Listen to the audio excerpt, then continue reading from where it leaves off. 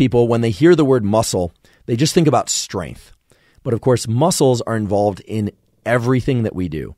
They are involved in speaking. They are involved in sitting and standing up. They are involved in lifting objects, including ourselves.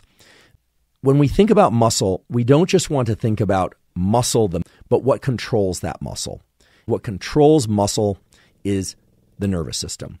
The nervous system does that through three main nodes of control. Basically, we have upper motor neurons in our motor cortex, and those are involved in deliberate movement. So if I decide that I'm going to pick my pen up and put it down, which is my upper motor neurons, were involved in generating that movement.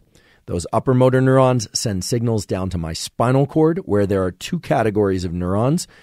One are the lower motor neurons, and those lower motor neurons send little wires that we call axons out to our muscles and cause those muscles to contract. They do that by dumping chemicals onto the muscle.